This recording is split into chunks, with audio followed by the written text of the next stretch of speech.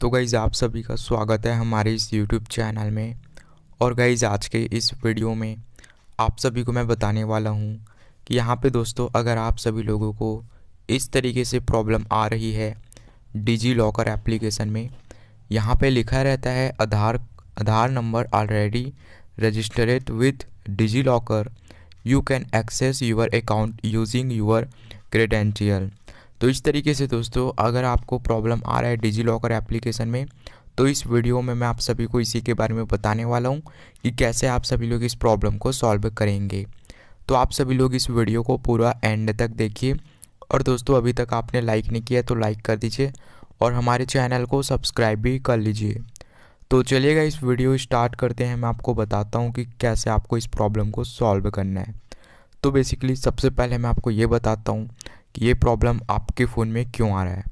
तो जब आप डिजी लॉकर एप्लीकेशन में अपना आधार कार्ड लिंक करते हैं, या तो फिर आधार कार्ड सेव करते हैं तो यहाँ पे आपको इस तरीके से जो है शो करता है एरर तो ये एरर आपके फ़ोन में तभी आ रहा है क्योंकि दोस्तों, आप जो भी आधार कार्ड नंबर डाल रहे हैं, वो या तो फिर पहले से ही रजिस्टर्ड है, या तो फिर आपने दोस्तों पहले ही उसी आधार नंबर से यहाँ पे जो है डिजी लॉकर एप्लीकेशन में जो है सेव किया था, ओके? तब आपको ये प्रॉब्लम आ सकती है।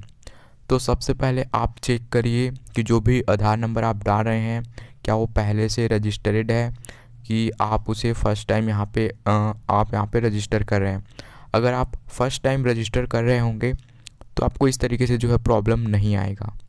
बट अगर वो जो है आपने दोबारा दो, दूसरे बार यहाँ पे आप उस आधार नंबर को रजिस्टरेट कर रहे होंगे तो आपको इस तरीके से जो है प्रॉब्लम आ सकती है। ओके गाइस तो सबसे पहले आप चेक कर लीजिए। हो सकता है वो आधार नंबर जो है पहले से ही रजिस्टरेड हो तो आपकी प्रॉब्लम सॉल्व हो जाएगी। और अगर आप जो है फ़र्स्ट टाइम यहाँ पे इस मतलब कि आधार कार्ड नंबर को यहाँ पे एंटर कर रहे हैं, और आपको इस तरीके से प्रॉब्लम आ रही है तो आप सभी लोग मेरे को कमेंट करके बताइए। फिर मैं आपको उसका सॉल्यूशन बता दूँगा। तो गाइज़ अगर ये वीडियो आपको अच्छा लगा हो तो लाइक कर दीजिए और चैनल को सब्सक्राइब भी कर लीजिए।